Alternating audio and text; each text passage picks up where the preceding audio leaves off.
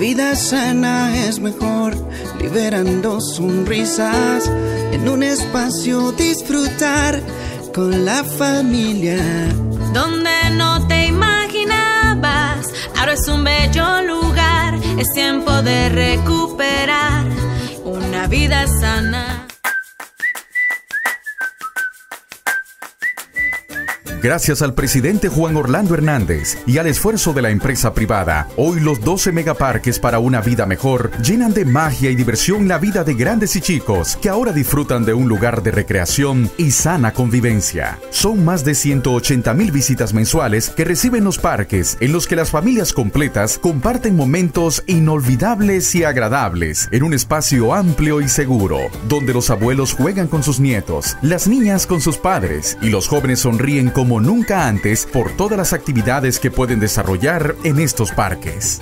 Los parques para una vida mejor fomentan en cada comunidad donde se instalan una cultura de paz. Los niños pueden disfrutar de columpios, deslizadores, tarimas pasamanos, escalinatas, todo lo que ellos necesitan para vivir una experiencia única. Áreas especiales como patines y patinetas se han convertido en las preferidas de los adolescentes que pasan horas y horas realizando acrobacias asombrosas que deleitan a todos los que se encuentran en cada uno de los parques.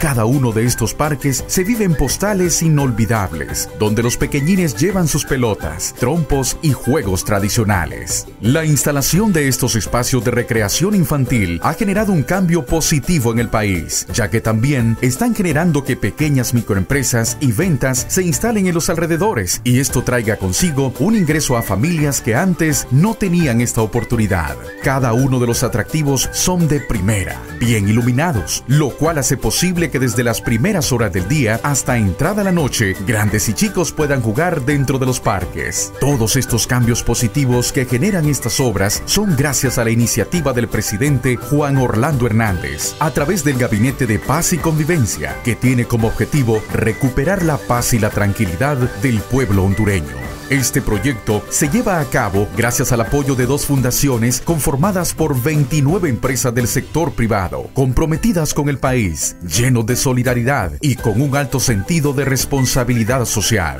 Actualmente se cuenta con parques para una vida mejor en la Villa Olímpica, El Picacho y las colonias Camposielo, San José de la Vega, El Trapiche y la 21 de febrero en la capital, en Chamelecón, Las Palmas y Rivera Hernández en San Pedro Sula. El Progreso y Santa Bárbara. Hoy, el Gobierno de la República inaugura el parque número 12 en la ciudad de Juticalpa, Olancho, y la meta es llegar a la construcción de 20 parques en su primera etapa. Próximamente, abrirán sus puertas los parques en la colonia El Hogar, La Fecitrán, 15 de septiembre, y en el campo de Parada Marte. También se construirán parques en las colonias Kennedy y Nueva Suyapa en el Distrito Central, así como en el bulevar principal de Gracias Y en la colonia López Arellano en Choloma Cortés. Paso a paso, Honduras avanza. Presidencia de la República.